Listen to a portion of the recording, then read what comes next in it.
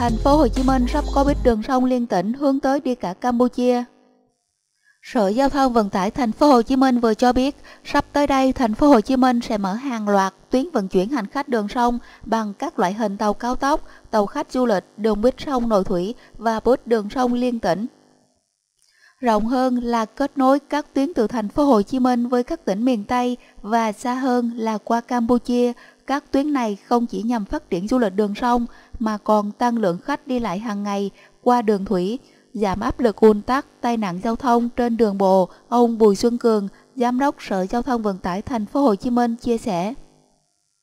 Theo lãnh đạo Sở Giao thông Vận tải Thành phố Hồ Chí Minh, cuối tháng 12 tới đây có thể thành phố sẽ cho hoạt động tuyến cao tốc từ bến Bạch Đằng quận 1 đi đảo Cần Giờ, thành phố Hồ Chí Minh và từ địa phương này sẽ kết nối đi tiếp đến thành phố Vũng Tàu, Bà Rịa Vũng Tàu.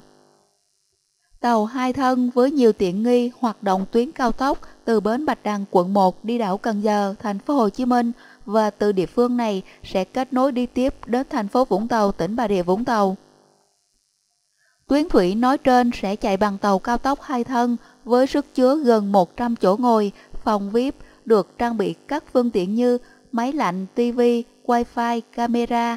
Tàu kết hợp chở khách du lịch với hành trình đi theo chặng và các điểm dừng là mũi đèn đỏ, bến phà Bình Khánh, rừng sát, Tam Thung Hiệp, Thạnh An, huyện Cần Giờ và sau đó nối chuyến sang Vũng Tàu, đại diện phòng quản lý giao thông đường thủy, Sở Giao thông Vận tải thành phố Hồ Chí Minh cho biết.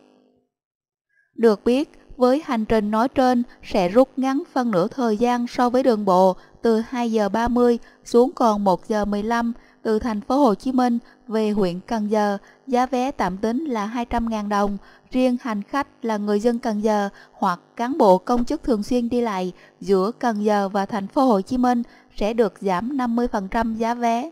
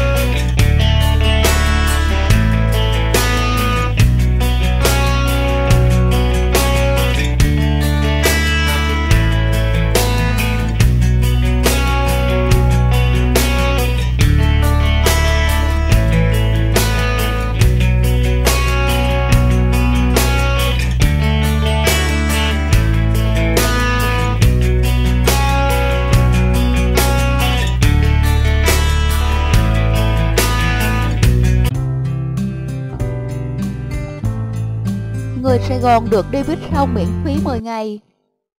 Nhằm khuyến khích người dân chọn lựa loại hình vận tải công cộng mới, chủ đầu tư tuyến bích đường sông đầu tiên ở Sài Gòn sẽ miễn phí vé 10 ngày để người dân trải nghiệm.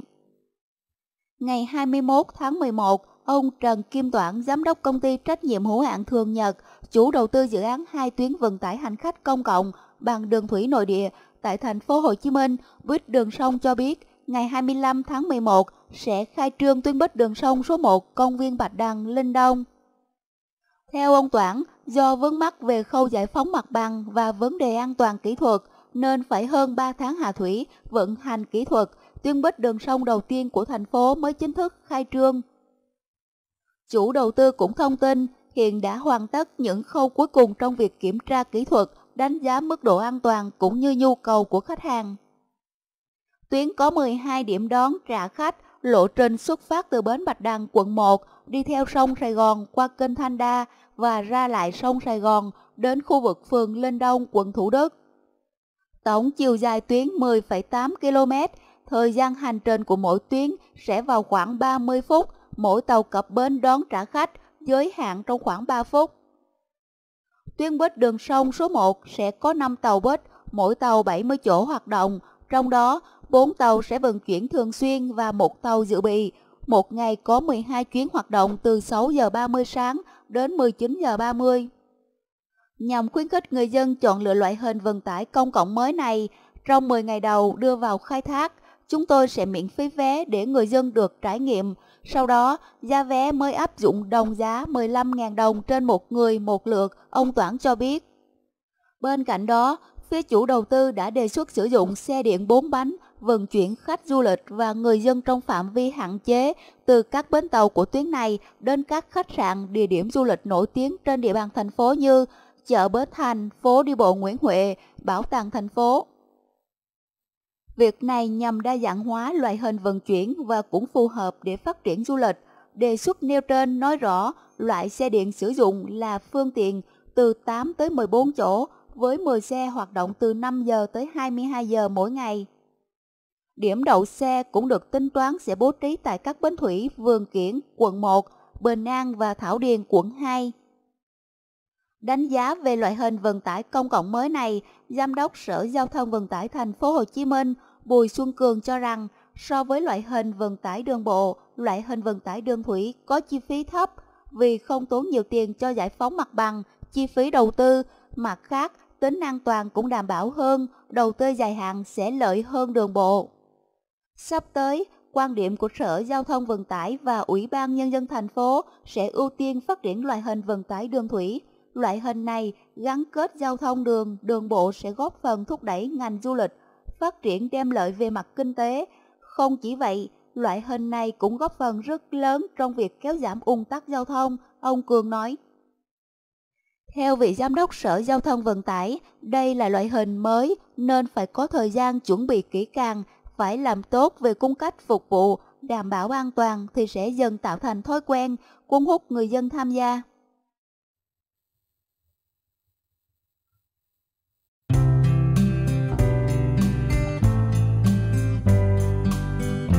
Giám đốc Sở Giao thông Vận tải Thành phố Hồ Chí Minh đường hỏng do không có xe lưu thông.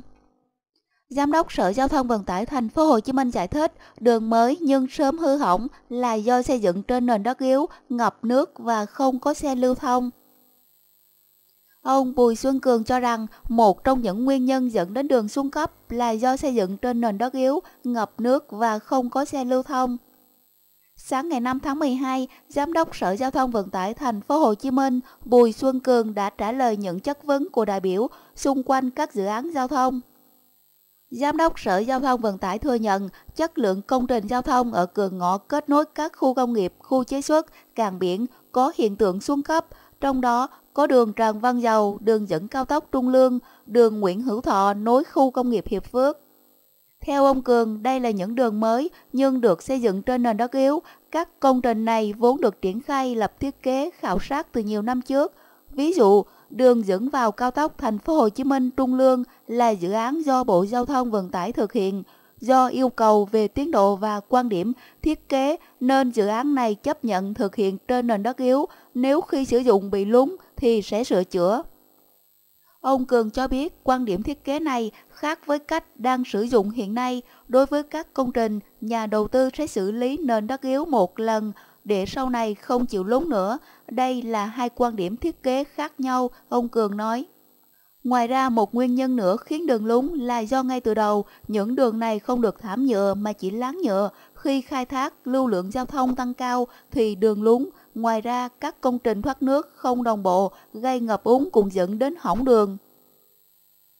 Cá biệt, theo giám đốc Bùi Xuân Cường, những đường không được sử dụng cũng đứng trước nguy cơ hư hỏng cao. Đường Trần Văn Dầu được thiết kế để kết nối với cầu, nhưng do giải phóng mặt bằng chậm nên đoạn đường này không được lưu thông. Đường không lưu thông, nhựa không nổi lên, dẫn đến hỏng đường, ông Cường cho biết. Giám đốc Sở Giao thông Vận tải cũng thông tin chưa phát hiện chuyện rút ruột công trình. Đối với dự án cầu Bình Tiên, theo ông Cường, Sở Giao thông Vận tải đã chọn được hai liên danh nhà thầu theo hình thức BT. Dự án này đã được thông qua trước đó nên không phải chờ quy chế về đầu tư BT của thành phố Hồ Chí Minh. Với dự án này, thành phố sẽ trả 67% chi phí bằng quỹ đất, số còn lại trả chậm bằng tiền mặt. dự kiến cầu Bình Tiên sẽ hoàn thành vào năm 2020. Trước đó, đại biểu Nguyễn Thị Tố Trâm phản ánh hàng loạt công trình giao thông của thành phố Hồ Chí Minh vừa đưa vào khai thác đã xuống cấp trầm trọng, bong tróc. Đại biểu Trâm chỉ ra đường Trần Văn Dầu, đường dẫn vào cao tốc thành phố Hồ Chí Minh Trung Lương hư hỏng.